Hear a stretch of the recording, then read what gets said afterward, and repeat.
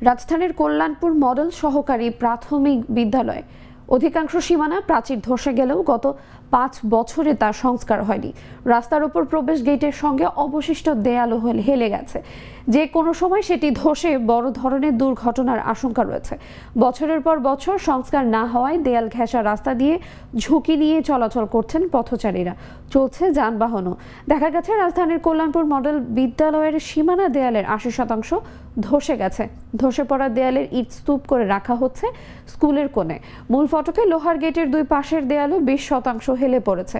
সামান্য ঝড় বৃষ্টিতেই সেটি আরও নুয়ে পড়তে পারে, যা এই পথে সকাল সন্ধ্যা যাতায়াতকারী সাধারণ মানুষের জন্য বড় ঝুঁকি।